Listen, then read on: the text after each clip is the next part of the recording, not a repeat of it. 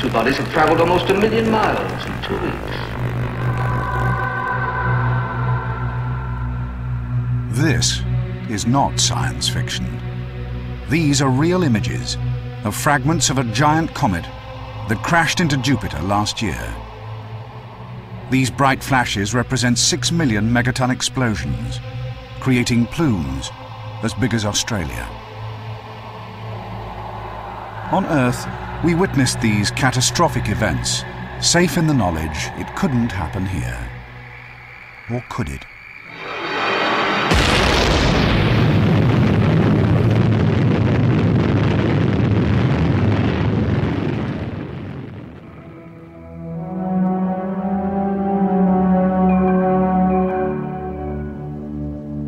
This town has a strange history.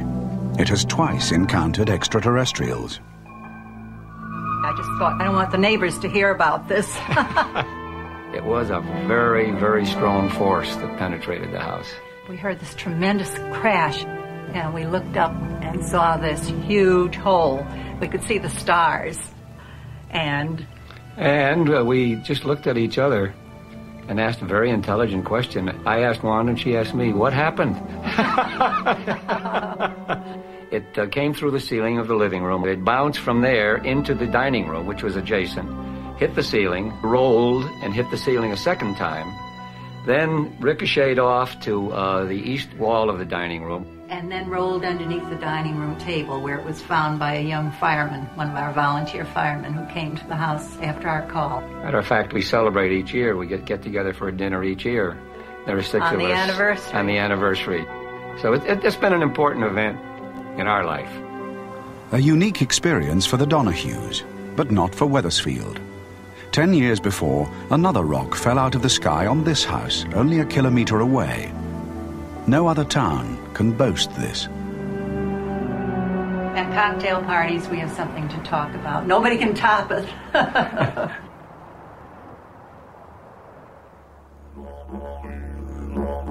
so rare are meteorite falls that enthusiasts can be driven to the ends of the earth to find them.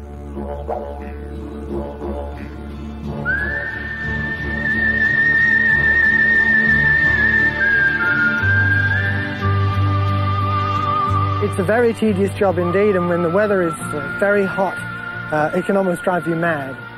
You uh, have to concentrate very hard, you clear your mind of everything, you look on the ground for hour after hour after hour, and focus your mind on small, dark rocks. Fingers crossed. We're going to find a big one as well. Main thing, not to go wandering off without letting anyone know. Uh, always have a water bottle with you but mostly never go wandering off on your own. In most parts of the world, your chances of finding a meteorite would be pretty slim. But here on the Nullarbor, they're very high. Here, it's been dry for tens of thousands of years at least, probably much longer than that. It also has a general lack of vegetation, and the local country rock here is made of limestone, a pale rock. Most meteorites are very dark rocks, and so show up against a pale background. They're more easily recognized here than in most other places. Meteorites have been accumulating here for a long time, tens of thousands of years, and so that they are concentrated on this uh, ancient surface that we're walking along. All the rocks on Earth have been processed and altered by volcanic activity. But meteorites are different. Meteorites are a, a, unique source of information about the earliest history of the solar system. Some of them are, have chemistries which are very similar to the chemistry of the Sun. And clearly these are very primitive objects indeed. Among those who study rocks from space, some now believe they have a much more sinister relevance to life on Earth today.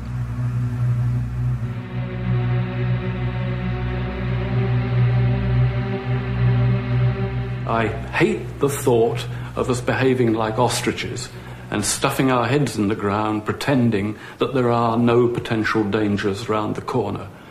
Um, the reality is that these fireball increases will happen fairly suddenly when they happen.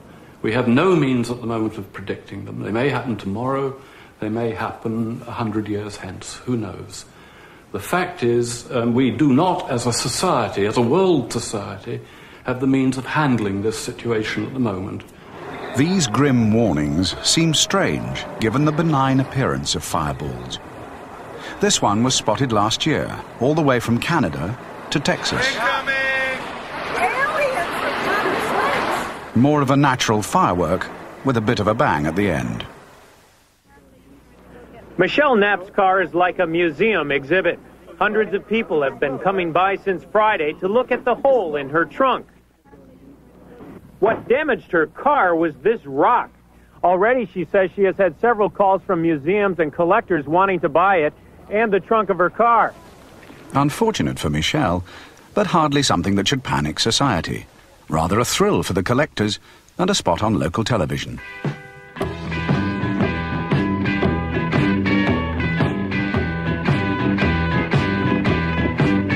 Mr. Brewcock, what were you doing at the time? I went out the back, back of our, our house, and uh, I heard the bang. Oh, they were so excited to think that it was a meteorite. And we hope that members of the public will help us by looking for these. I'm inclined to wish now that it dropped on somebody else's garden, not mine. Could it actually have been anything else, like an unidentified flying object or a spacecraft? That is an unanswerable question. Above all, society is skeptical nowadays. Ideas of death and catastrophe from the sky belong to ancient times, before the age of science, when superstition made people petrified of the heavens. They clearly saw the sky as interactive with the earth and originally, um, the broad idea was that there were things impacting upon the earth. Um, God hurled his thunderbolts at us, and there were um, catastrophes.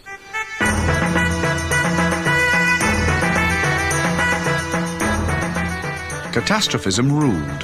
The heavens were seen as a source of wonder and potential global disaster. Then came the Age of Enlightenment, and all this was to change.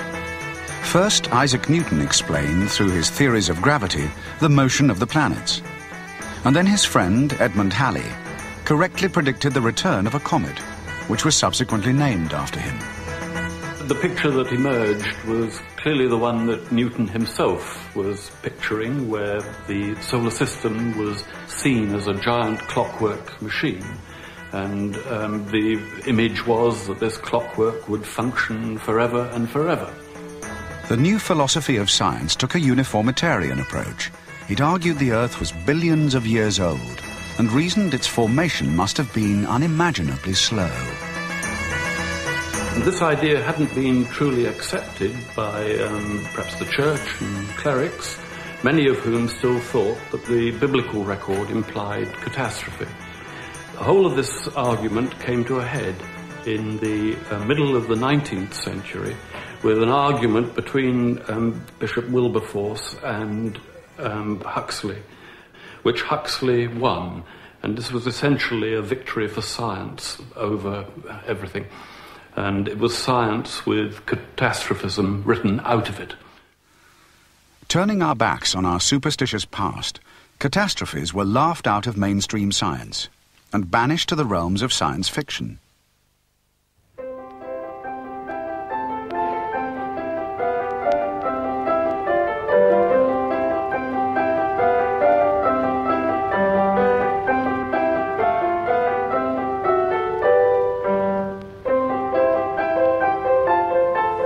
By the time this film was made in 1910 to celebrate the return of Halley's Comet, only religious mystics thought the sky held any surprises. A long time ago, it was a flood in Noah's day that wiped out mankind. Now it will be um, a gigantic fireball. And I have already seen a preview of this event. And it certainly will annihilate many, many nations. The world will not end. Certainly these new bodies will pass our planet, but we are still here. Predicting the end of the world is an annual crackpot event in our society, an attempt to corner the newspaper headlines. Massive impacts and catastrophe are in the textbooks, but very much as part of the Earth's early history.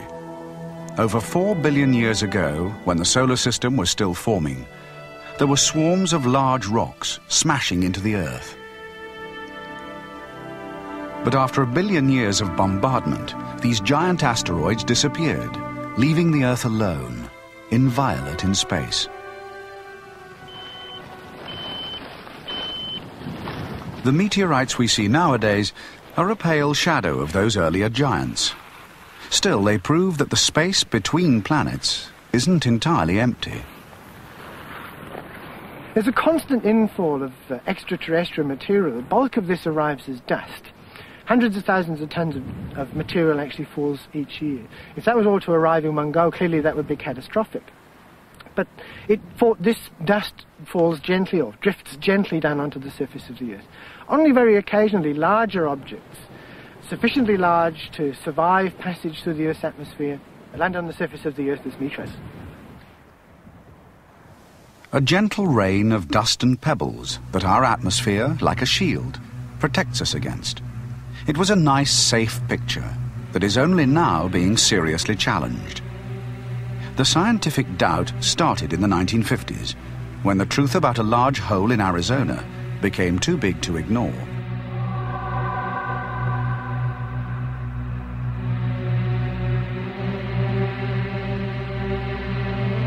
This crater was the first meteorite crater in the world that was shown to be a meteorite crater. So it was extremely important in that first intellectual step to recognize that, yes, indeed, very large objects do fall out of the sky and make holes in the ground. To help his colleagues with this intellectual step, Shoemaker needed solid scientific evidence. One was to study the structure, the deformation on the walls of the crater, and how rocks have been pushed out and then peeled up and overturned and I could compare that deformation directly with experimental craters, smaller craters formed by nuclear explosions.